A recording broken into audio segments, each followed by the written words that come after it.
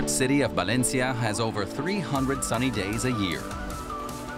And its average temperature of 19 degrees Celsius makes Spain's third biggest city an ideal travel destination all year round.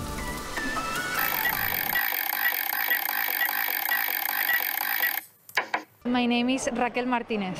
I think Valencia is really great because of the weather and also because of the people, because we are really nice and friendly people. I think uh, you should visit the City of Arts and Science, uh, which was designed by Calatrava.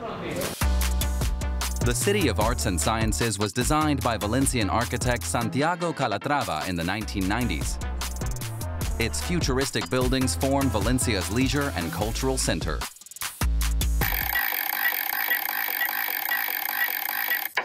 Biking in the in the in the city now is very easy because everything is being adapted to to the bikes. So it's, it's turning to a green city, which is something something good. Uh, Jardín Turia, which was the river before, and after the flood in the 50s, they had to change the direction and they converted into a the longest uh, park in Europe, and it's really green and very nice to, to go to walk.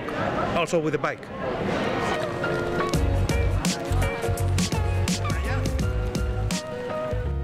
El Jardín de Turia is over 9 kilometers long and considered Valencia's green lung. The park is the perfect spot to stop and take a breather in the middle of the city.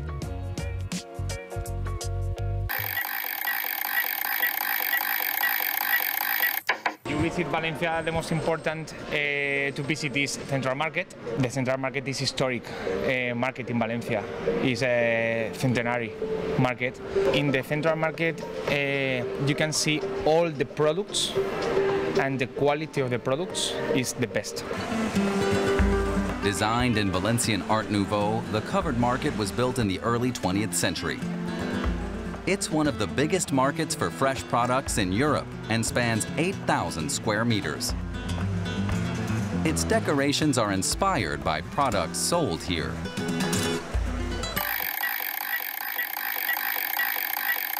Bueno, yo soy canónigo de la catedral y mi nombre es Miguel Bou. Lo mejor para ver de Valencia es la catedral, el Miguelete, si podéis subir arriba, desde arriba hay muy buena vista. The bell tower of Valencia Cathedral was built in Gothic style and is 63 meters in total. The terrace is at 51 meters, with a breathtaking view of the sea and the City of Arts and Sciences. Me llamo Josep Gomar, soy historiador, eh, trabajo aquí desde hace cuatro años. La torre tiene 207 escalones, es como subir 15 o 16 pisos. Y bueno, hay que estar un poco en forma, pero tampoco es para tanto. Mm, Cualquier día que vayas a la montaña haces un poco más que eso. Así que...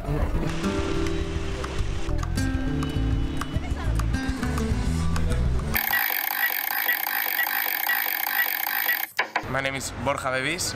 I'm living here in Valencia. I'm from Valencia and I work as an agricultural engineer. It's very common here that uh, we eat paella like once a week or every two weeks. And for us, one of the best places to eat paella in Valencia is uh, Bar Cremaet. Valencia is the paella capital. Rural communities invented the rice dish here between the 15th and 16th century. The original paella valenciana was made with rabbit meat and chicken. The version with seafood didn't come about until much later. My name is Nestor Bacaro. I'm a manager of uh, Bar Cremaet. And well, uh, we're talking here about paella. Paella is part of the culture of Valencia. If you could go around Spain and eat many good things, but if you want to eat rice and good paella, you need to come to Valencia. Valencia offers nice weather, friendly people, numerous attractions, and great food. What more could you ask for?